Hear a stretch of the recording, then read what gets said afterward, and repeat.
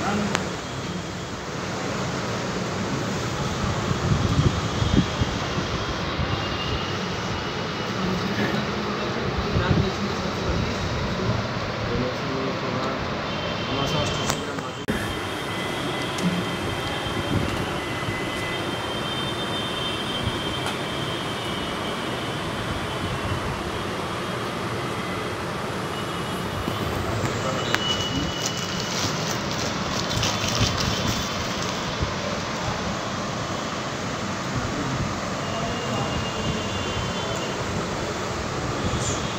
अपना नाम दीजिए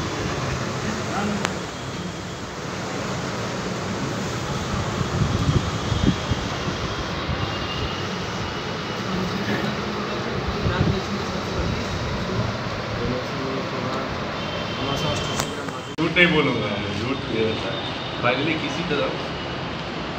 क्या ज़रूरत नहीं फाइनली किसी तरह वकील को समझा दिया ओके किसी मान लिया। लेकिन जब वकील वहाँ पर